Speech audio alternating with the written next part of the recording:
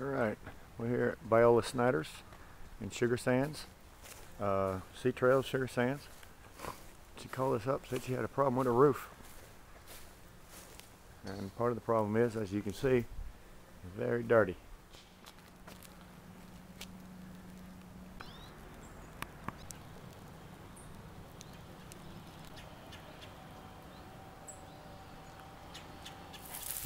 We start by wetting all the plants on the ground, all around the house. Again, everything, anything that we think chemicals will get onto, we want to go ahead and wash, rinse down before you even get on the roof. And then have a guy down here rinsing uh, while you're up there, if it's uh, going on it at all.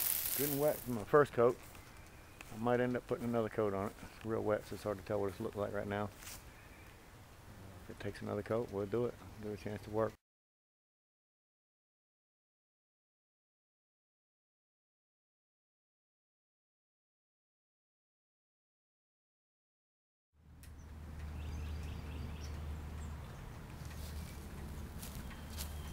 The sidewalk. She didn't want to do the driveway. I guess maybe she'll do that another time.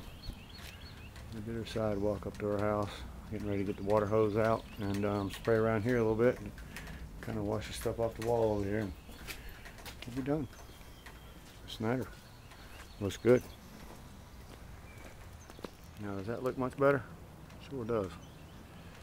Much better.